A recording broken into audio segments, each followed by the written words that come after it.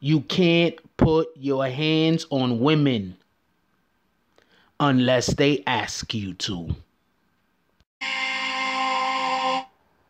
It's a young samurai, I smoke a spliff in the cut, then I pass a lot to my bro. No fuck with my flow. Couple bad bitches in a cup of that Joe. So it's just THC.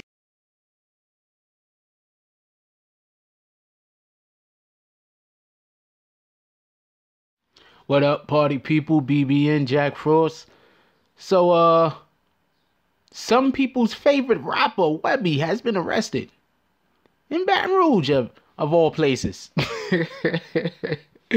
Yo, not for nothing, but um, right now, like there's, there's a lot of rappers coming out of Baton Rouge right now. Like I'm not even saying I listen to this dude, but I'm just saying it's a lot of there's a lot of music coming out of Baton Rouge right now. Like NBA YoungBoy, he can't even use his NBA name no more. They said now he got to just call himself straight up uh never broke again.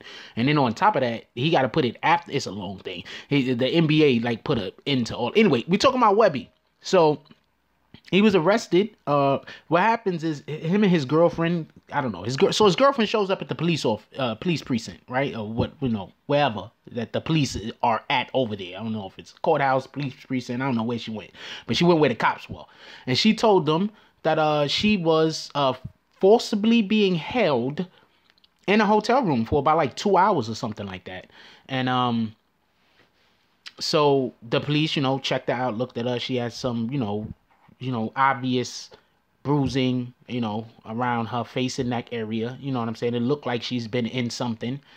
And uh it looked, you know, sufficient enough that obviously they took her to the hospital. That's what you do, you know. Um you know, it's it's a shame, but in this day and age, we do have people that you know they uh, claim that things happened that didn't happen. So at least these police officers seem to have did some kind of due diligence and looked into it instead of just saying, "Oh man, it looks like you've been slapped," and then like high wheeling it down to the damn place and arresting him. Anyway, so he gets arrested eventually. You know what I'm saying? After they check out at the hospital, he gets arrested. He complains of some medical issues of himself. You know, whatever, nigga. Then they take him. To, they take him.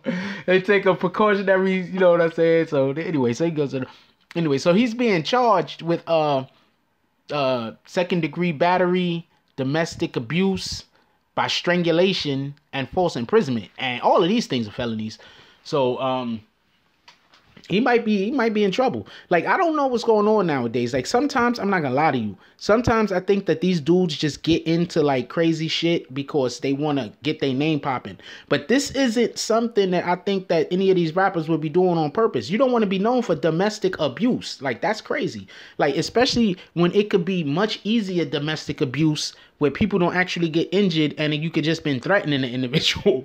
like that's a that's a real thing, y'all. That's a real thing. You could just throw a threat and it could be domestic abuse. So just gonna let everybody know that. And like, I don't know. I'm in New York. I know in New York you could throw a threat at, at, at a female and if they have reason to take that threat seriously, it's domestic abuse. So this guy's a rapper, so he he most likely talks about violence. So I'm pretty sure he could have just threw a threat and it would have been enough to get his name in the press. So I don't know. You don't never know about these things. Anyway, uh, leave a leave, leave it down below. I want to know what y'all guys think about this. As always, what y'all guys think about this is way more important to me than what I think about this because I already know what I think about this.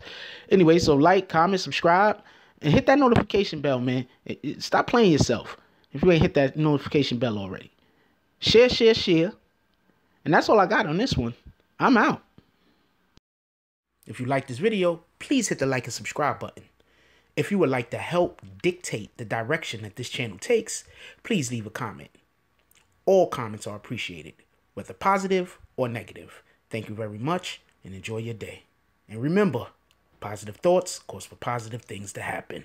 Let's get it.